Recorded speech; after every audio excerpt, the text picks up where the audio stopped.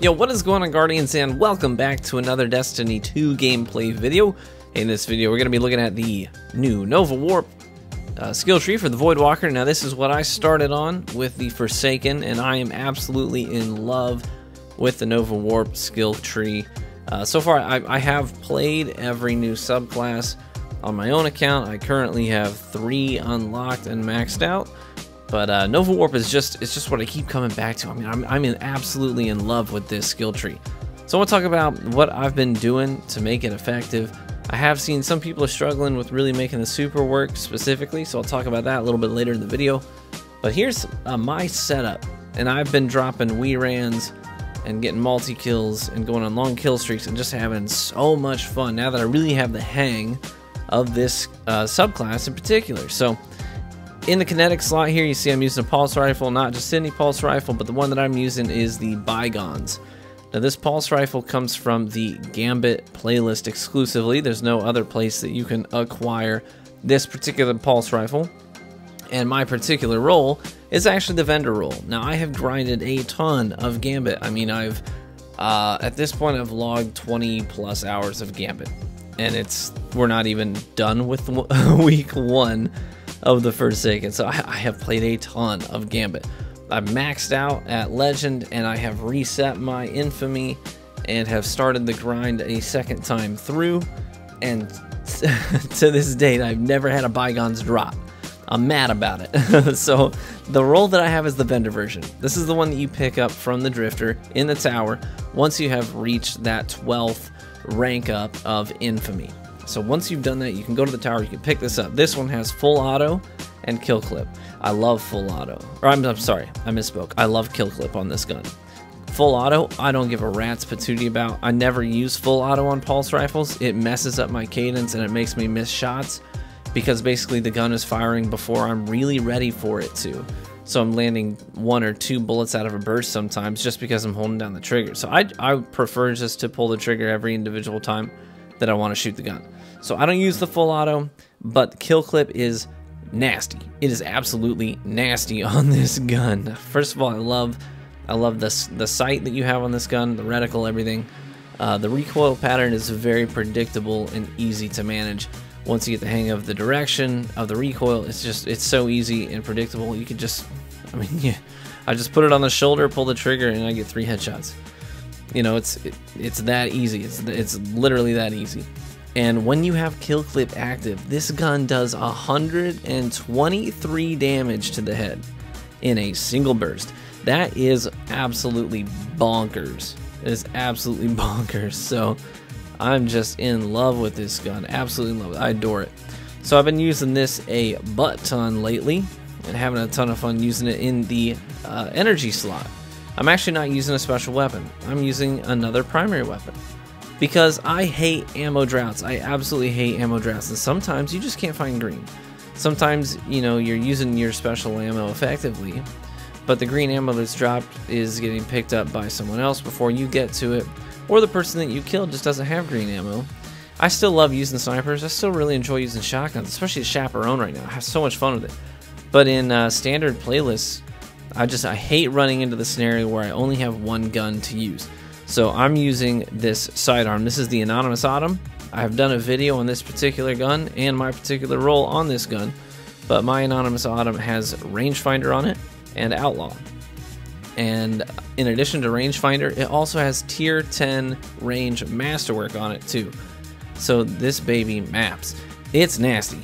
And you can see in especially the, the gameplay on Burning Shrine, or Burnout rather, the we ran out of medals and I think I did like 16, 15, 16 of these kills are with this sidearm. Just pop, pop, pop, pop, pop, pop. Like, and, and here's the trick. I always get people who are like, it's got to be full auto or a modded controller because you can't fire it that fast. You absolutely can. Here's the thing. Most people use their pointer finger to pull the trigger. I do not. When you use your pointer finger to pull the trigger, the amount of leverage that you have is uh, pretty limited in terms of what you're you know pulling against the controller. I use my middle finger. And so I'm pulling, I'm basically pinching the controller and the button in between my middle finger and my palm. So my palm is much more steady, much more stable. I'm getting better leverage and I can I have a faster trigger finger that way. I can just spam that trigger with my middle finger and bah, bah, bah, bah, easy peasy. And my pointer finger is actually sitting on top of the controller. It's called the claw grip, and uh, it's just relaxed, just chilling up there, hitting the buttons on the top. It's uh, a lot of people think that the claw grip is like some mm, you like stress your finger, like you're making this claw shape, and it's like tense, and they're like, isn't that gonna give you arthritis? No, no, they're literally no instances of anyone ever having carpal tunnel or or anything comes specifically from clawing on a controller. I've been doing it for 18 years now, and I have no problems in my fingers. No problems whatsoever. It's because it's not a stressed grip. Your finger is literally just relaxed, sitting on top of the controller. And there's no harm that it can do. So anyways, uh, that, that's what I'm doing for the energy slot, the Anonymous Autumn, and it's shredding people. In the heavy slot, I'm using the Tractor Cannon. Boo! I know, but I like to troll people. It's fun. I'm sorry, okay? So sue me. But uh, I do use, I do enjoy using Tractor Cannon. Uh, I just like the suppressing effect, like shutting down supers. I like throwing people off the map or throwing them into walls, and I laugh hysterically because I play video games for fun. So, anyways, those are the weapons that I'm using when I'm running my um, Nova Warp skill tree. Now, let's talk about the Nova Warp uh, abilities in particular that I'm using in this gameplay and that I'm using when I'm using this thing. Handheld Supernova, that's your grenade ability. And there are actually gauntlets out there that shorten the charge time that you can charge up your grenades, no matter what um, you know what skill tree you're playing on the on the Voidwalker, whether it's Devour, Chaos, or um, of Fission. So, anyways, uh, if you get those, those can be pretty nice. I'm particularly uh, using the Ophidian aspects because I've got I've got some nice perks on mine. So I like having the reload speed, keeps things moving, keeps me in the action, and I don't have to take so much downtime to reload my weapons all the time. So I prefer using the Ophidian aspects, but I'll probably play around with Chromatic Fire when I finally get one to freaking drop for me as well. I'll probably have some fun with the Chromatic Fires and just kind of stack some uh, reload speed mods and, um, you know, perks on rolled, you know, random rolled perks on my armor to uh, maximize the reload speeds. So I might play around with that once I get a Chromatic Fire to drop.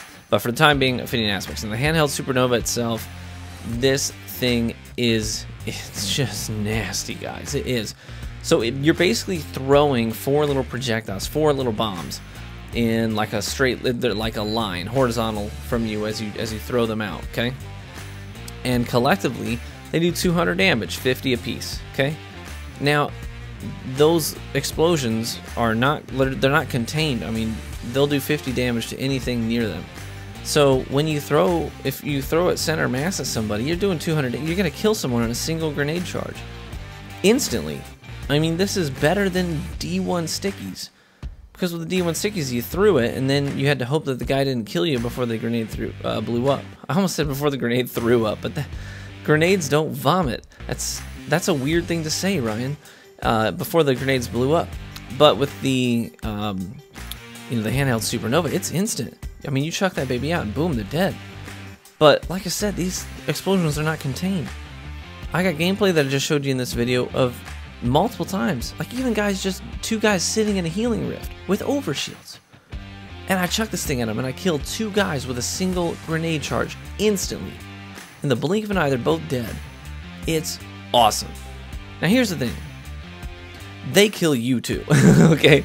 I have killed myself so many times with a handheld supernova. I do it every single day. I do it multiple times on stream. I just bury my head in my lap in shame because it happens. And sometimes there's literally nothing in front of you but empty space, but for some reason the grenade just decides to blow up in your face and kill you. It has happened a lot to me. So I'm familiar with the wolves. It's kind of high risk, high reward. Uh, even if you're throwing it at point blank, you know, sometimes you're just trading because you're killing him and yourself at the same time. But if it's premeditated and it's not panicked, uh, usually you can just you can mob someone up with a single handheld supernova. It's awesome. Uh, the atomic breach melee ability. Um, I've started to really like this thing a lot more because a lot of times I'm getting you know one or two shots into a guy and then I have to go for the melee because he's up in my face. Here's the thing: the atomic breach it throws them backwards. It pushes them away from you, which is really nice because you're sometimes avoiding a melee or a double beatdown because you're hitting them and it projects them backwards away from you. Not only does it do that, but when the when you use Atomic Breach and you punch somebody with it, you attach this void charge to them, to their chest. And as they're flying away, that thing's going to glow and then detonate and do an, an additional 65 damage to them, to them and anything else around them. So I've gotten double kills because I hit a guy back into his teammate who was already hurt, and then the atomic breach blew up and it killed both. I got a double kill with the breach. It's really cool. So I've started to really like this ability a lot more lately. This is just kind of good for being like, hey, get away from me and also die over there, please. it's nice. It's real nice.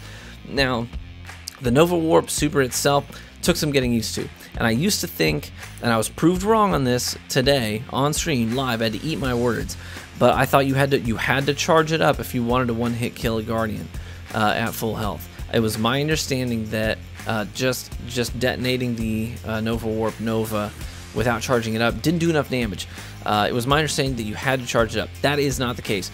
You can blink in, and if you are right on top of them, you just hit that trigger, boom, you get that instant detonation, and they will die if you are close enough to them. And it's nasty. I've started to get used to doing this now. Um, I'm glad I was wrong because I felt like the super was a little bit weak and to be kind of picky with when you chose to push with it. But now I feel a lot more confident, kind of zip, zip, zip, boom, zip, boom, zip, boom, right? And it's just, oh, it's so much fun, guys. It is. So try it out. Try it out. Zip in there and, and just go boom on people. It's fun. It's stupid fun. Hey, I hope you enjoyed the video. Hope we, that you enjoyed the tips. I hope you enjoyed getting to know my current loadout, what I'm using, what I'm finding effective, and, and what I'm enjoying doing. Um, well, I hope that I catch you in the Crucible, because that would be fun. And if you beat me, say GG. And I'll say, shut up and go. No, I'll say, cool, man, GG, it was good playing you. Um, yeah, hope to see you guys there. Be warm and well fed, my friends. Till next time.